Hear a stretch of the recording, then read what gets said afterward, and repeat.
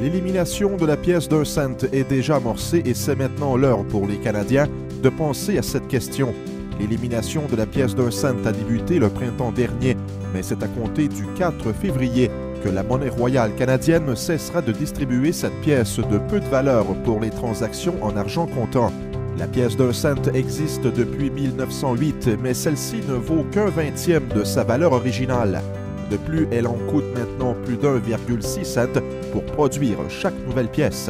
Plusieurs autres facteurs ont été pris en compte dans la décision de l'éliminer, entre autres sa moins grande utilité, des considérations environnementales et les coûts élevés de manutention pour les détaillants, les institutions financières et l'économie en général.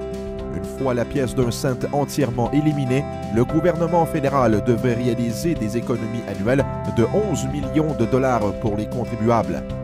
L'élimination de la pièce d'un cent n'aura pas d'incidence sur les paiements pour les chèques ou les transactions électroniques. Toutefois, les montants des transactions en argent comptant seront arrondis à la baisse ou à la hausse au multiple de 5 cents le plus proche. Les détaillants pourront adopter les lignes directrices du gouvernement fédéral afin que l'arrondissement des montants se fasse de manière équitable et transparente. Avec le temps, les Canadiens verront de moins en moins souvent de pièces de cent et c'est maintenant l'heure de penser à la façon dont cette décision vous touchera. Pour en savoir davantage, consultez le site plandaction.gc.ca barre oblique 1 cent. Un reportage de Denis Lépine.